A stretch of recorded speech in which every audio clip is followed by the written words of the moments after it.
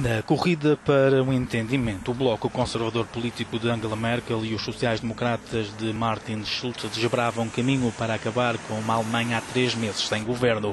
A CDU e o SPD chegaram a acordo para elevar o escalão máximo do IRS. O alívio fiscal no imposto sobre o rendimento foi uma promessa eleitoral de Merkel. O aumento do escalão máximo para os 60 mil euros anuais é assim um sinal de que há espaço para entendimento. Forjar um compromisso com o SPD renovar a coligação que vigora desde 2013 é o melhor cenário para a chanceler conseguir um quarto mandato depois de uma eleição que fragilizou os principais partidos. Em novembro, Merkel falhou formar uma coligação com os democratas livres e os verdes. O compromisso na taxação é uma pequena ponte num enorme fosso que os separa, em especial em temas como a imigração, o futuro da União Europeia e a economia. As discussões deverão terminar na sexta-feira.